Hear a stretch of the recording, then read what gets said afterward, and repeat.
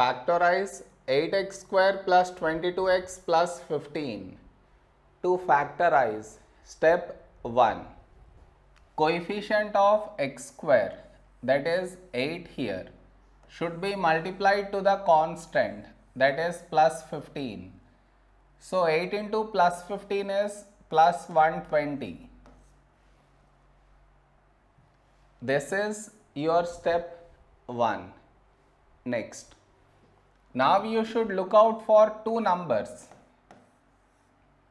Such that when you add these two numbers you should get the middle coefficient that is plus 22 and also when you multiply them you should get plus 120 I repeat.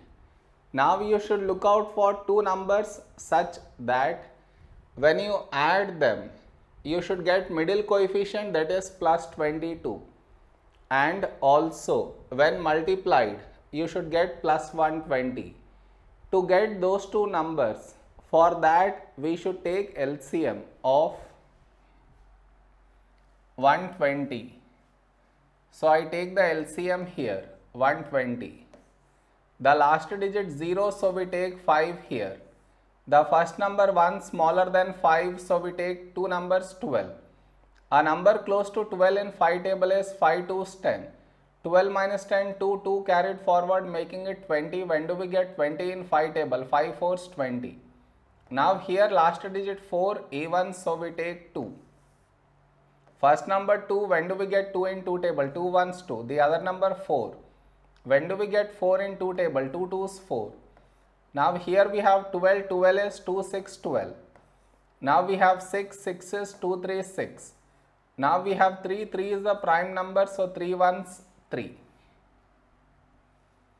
Now the two numbers should be 5 into 2, 10 and the second number is 2 into 2, 4 into 3, 12.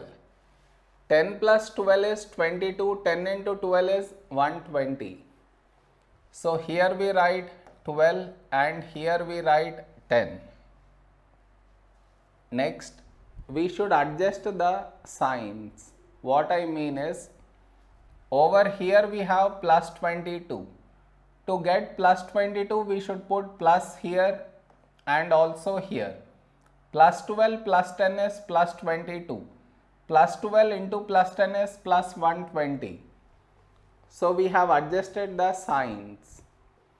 Now you should change this to 8x square. In place of plus 22x, we should write this. That is plus 12x plus 10x plus 15. Did you understand?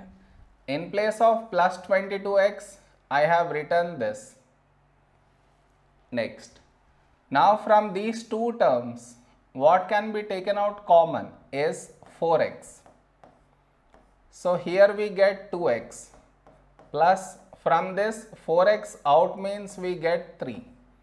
Now whatever we got here, here also we should get the same thing 2x plus 3.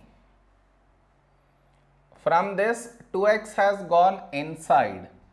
So outside you get plus 5. Even if you multiply and see still you get the same thing. Now you take out 2x plus 3 common.